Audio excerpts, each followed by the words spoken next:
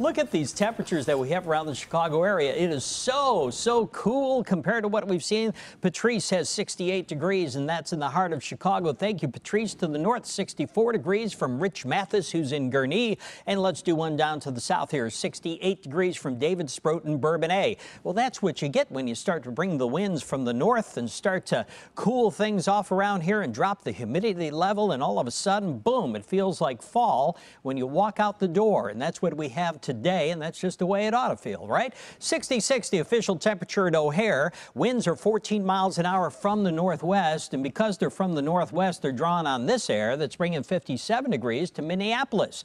It's going to keep our temperatures down today.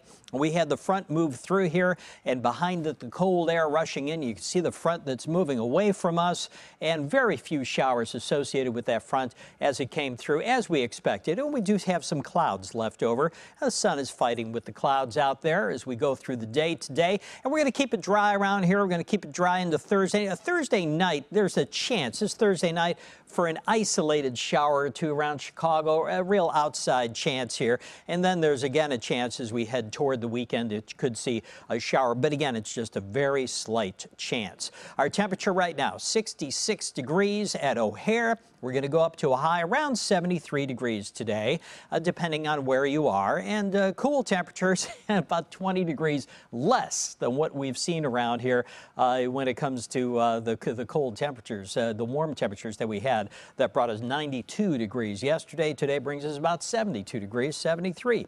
50 degrees tonight, mostly clear, very cool temperatures. And here's the way we look as we go through the next seven days 72 for today, 71 on Thursday. We drop off into the 60s as we head into Friday, and 67 on Saturday, and 72 on Sunday, and then 78 Monday, and 80 degrees come Tuesday. So this is fall weather for Chicago. It's about time after seven high temperature records in a row. It's, it is about time. Mm -hmm.